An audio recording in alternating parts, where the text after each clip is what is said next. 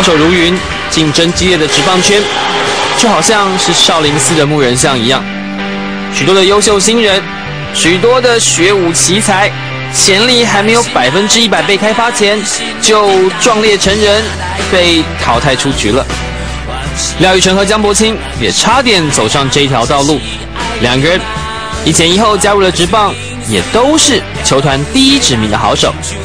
没想到，球团还没有来得及看着两个人成长，就传出要被释出的消息。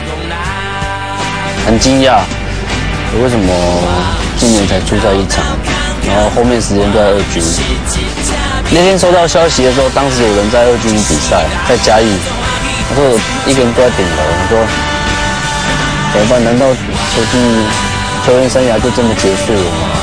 每天就一直练习，然后就准备二军的比赛这样而已，对啊。然后球季结束就跟我说，就叫我走了这样，也是还蛮错愕的，对吧？因为当初是算是统一的第一指名被选进，对啊。然后就是居然一年就没，我是觉得说啊，难道我的实力就是这样子的，对吧？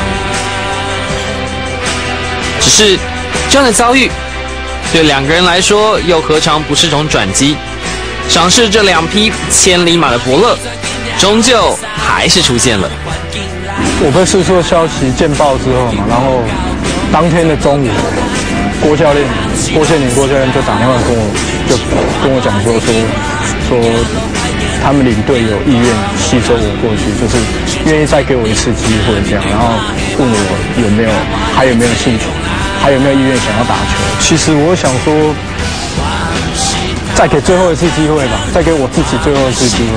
然后我我后来是自己想说，其实未未尝不是一件坏的，对啊，就是也是给自己一个一个教训，说要比较踏实一点，就是不要不要去先先预设什么立场，就是一步一步踏我自己要走的路会比较好。那时候收到兄弟就是吴家安的打给我电话之后，我是我就是觉得还蛮感动的。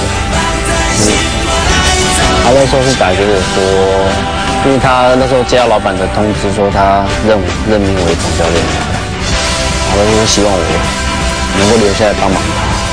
然后那时候听到这句话，我觉得我会我会尽力尽力为他。也帮这个球队就是能够打好成绩这样，把自己说今年是最后，可能有可能再打不好，可能就是最后，真的是最后一年了，所有一切豁出去了，练习啊，在球场上的一些态度都有点跟第一年进来都不太一样，就是把它当做是我最后一年，打不好就可能要走人这样子。有着类似的打球背景，连进职棒后的命运也很相像。要说廖玉成和江伯清是对难兄难弟，一点也不为过。没有哎，没想过那么多。没想到我们两个会这么坎坷。对，然后坎，现在还有坎坷吗？现在不会了。就是之前的过程，对。